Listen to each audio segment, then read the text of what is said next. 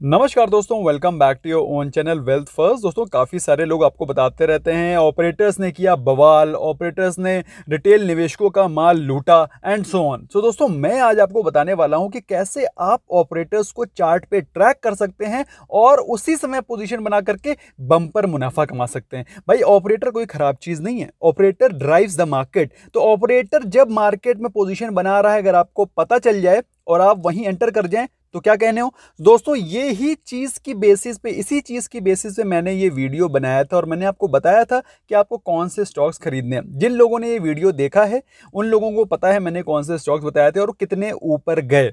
Titan Bajaj finance आपको मैं बताऊँगा कि कैसे आपको इनको आइडेंटिफाई करना है and you have to take position okay so without wasting time will begin लेकिन उससे पहले दोस्तों, अगर चैनल को सब्सक्राइब नहीं किया है तो सब्सक्राइब कर लें, ताकि आपको रेगुलर अपडेट्स मिलते रहें। प्लस कुछ एक्स्ट्रा सीखना चाहते हैं you can consider joining as a member क्योंकि बहुत सारे प्रिविलेजेस हैं, बहुत सारे होस्ट ऑफ़ बेनिफिट्स हैं। आपके लिए एक्सक्लूसिव वीडियोस भी मैंने बनाने शुरू कर दिए हैं। तो दोस्तों if you want to join you can consider joining as a member as well so दोस्तों, ये है price action strategy price action की स्ट्रैटेजी है, लेकिन इसमें हमें पता करना है कि कैसे और कब ऑपरेटर एंटर हुआ ताकि हम भी उसी समय पर एंटर कर सकें और अपनी पोजीशन को बना सकें। ठीक है? कॉल पुट के सेगमेंट को हम लोग कवर नहीं करेंगे, हम लोग अपना सिंपल बेसिक स्टॉक्स के बारे में समझेंगे। तो भाई, हम लोग इस वीडियो में क्या क्या सीखने वाले हैं? हम लोग सीखने वाले हैं कि कौन है operator who is an operator how to find the entry of operator कब वो एंटर हुआ है, किसी स्टॉक में? और कब वो एग्जिट हुआ है? बात समझ में आ गई? और जब वो एंट्री होगा तो फिर क्या इफ़ेक्ट दिखाई पड़ेगा चार्ट के ऊपर? और आप उस एंट्री का कैसे बेस्ट यूज़ कर सकें अपने प्रॉफिट को मैक्सिमाइज करने के लिए? उसके बारे में पूरी की पूरी इंफॉर्मेशन और जानकारी आपको मिलेगी by the end of the video लेकिन अभी तक अगर आप वीडियो को लाइक करना भूल गए तो स्मैश कर दे like button because you tend to forget smash the like button so that we can you know continue getting good content good videos for you all on you know on routine basis तो दोस्तों, इस आशा के साथ कि आपने कर दिया smash like button को। हम लोग पहले जानते हैं who is an operator operator है कौन? ये कौन है? क्या कोई गुंडा है? कोई बदमाश है? कोई यू नो डाकू है?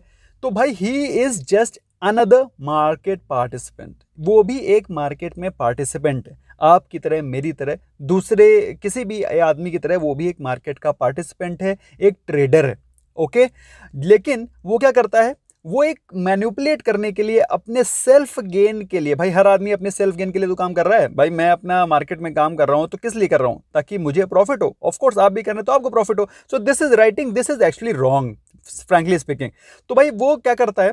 वो मार्केट को मैन्युपुलेट करता है with the help of the liquidity which he has liquidity मतलब भाई जिसके पास पैसा है, जिसके पास रोकड़ा है वही प्राइस को ऊपर लेके जा सकता है, वही मार्केट को इन्फ्लुएंस कर सकता है। So he is a part market participant who has lord of money जिसका ज़्यादा पैसा है, वही है ऑपरेटर और वो कौन हो सकता है? लिक्विडिटी किसके पास ज़्यादा होती है वो होती है या तो स्टॉक ब्रोकर्स के पास क्योंकि उनके पास काफ़ी सारा फंड होता है जिसके वो यू नो कि स्टॉक को मैन्युपुलेट कर सकते हैं या फिर वो कोई स्पेक्यूलेटर हो सकता है। Speculator can be any person who has a lot of money a big investor और any any person who has got insider news और वो कोई भी हो सकता है यू नो इनसाइडर तो कोई भी हो सकता है जिसको कि कंपनी की इनसाइडर इन्फॉर्मेशन पता हो। सो so, ये होता है ऑपरेटर ऑपरेटर कोई खराब आदमी नहीं है ही इज़ द पर्सन जिसकी वजह से मार्केट ड्राइव होती है मार्केट ऊपर जाती है स्टॉक प्राइस ऊपर जाते हैं। और ऑफ़ कोर्स जब उसका प्रॉफिट निकल जाता है तो वहाँ से टाइम से निकल जाता है और रिटेल वाले फंसे रह जाते हैं।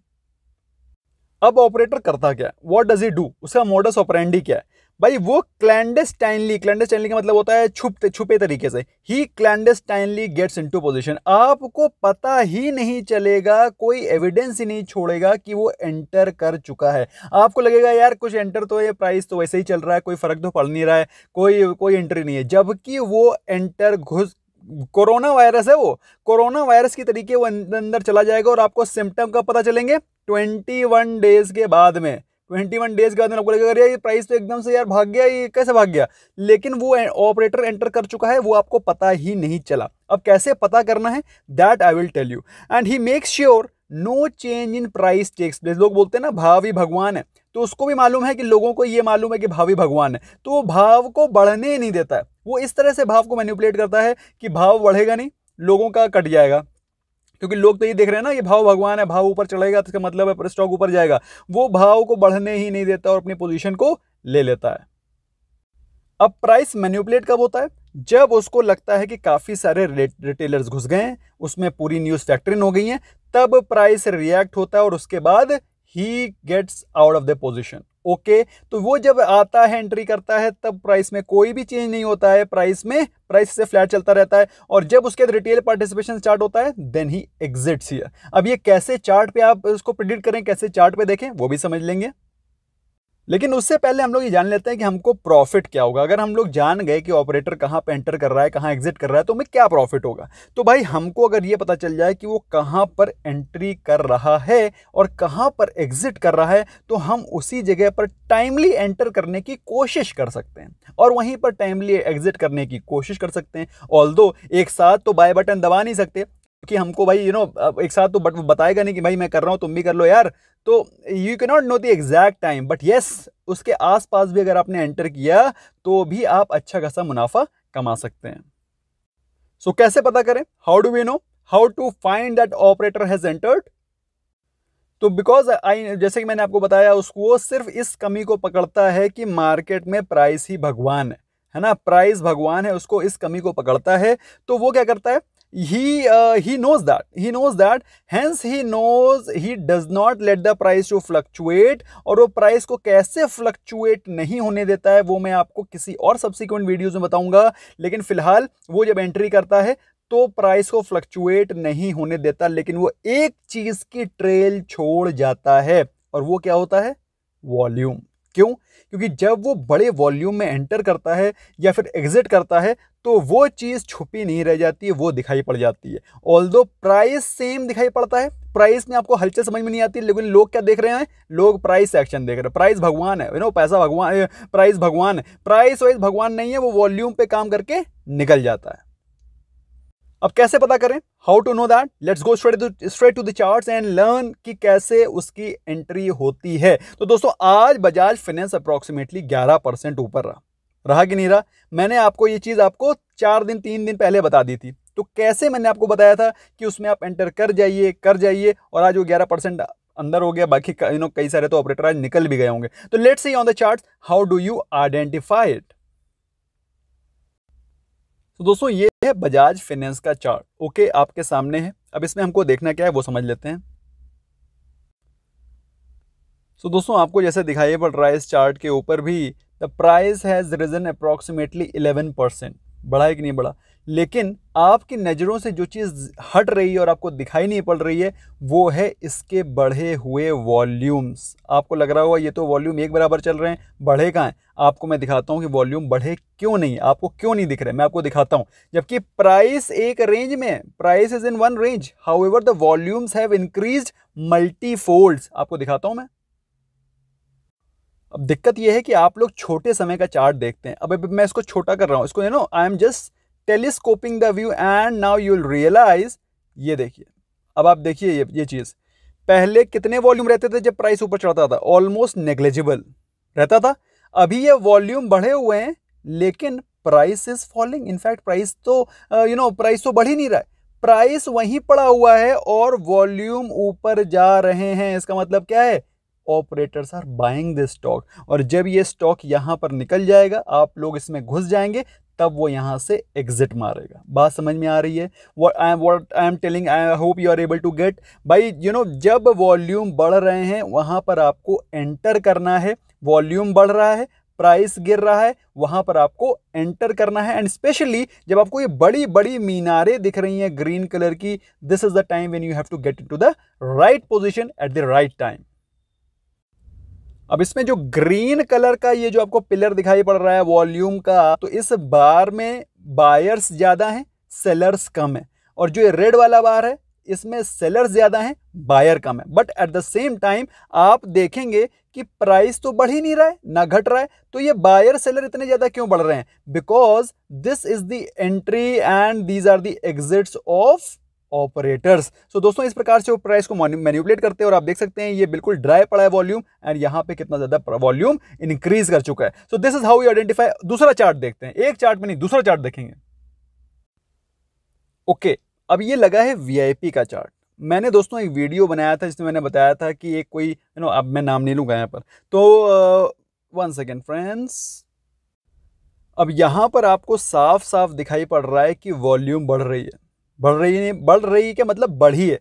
तो यहाँ पर ऑपरेटर ने फ्रेश बाइंग करी है वीआईपी इंडस्ट्रीज़ में। क्या प्राइस बढ़ा है?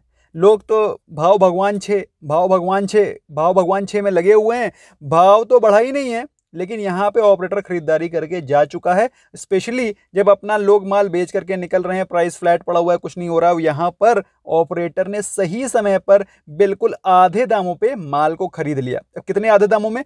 ये वीआईपी इंडस्ट्रीज़ का जो स्टॉक था फाइव हंड्रेड रुपीज़ का आ, किस कितने प्राइस पे खरीदा उसने? मात्र जस्ट दो सौ रुपए के आसपास ये देखिए यहाँ वो बाइंग करके जा चुका है कर चुका है नहीं कर चुका है। अब क्या होगा? आज दैट इज़ टुडे आज छह परसेंट वीआईपी ऊपर है। कल बाई चांस बढ़ा, या कभी आगे सब्सिक्वेंटली बढ़ा तो he will exit his position okay बात समझ में आई?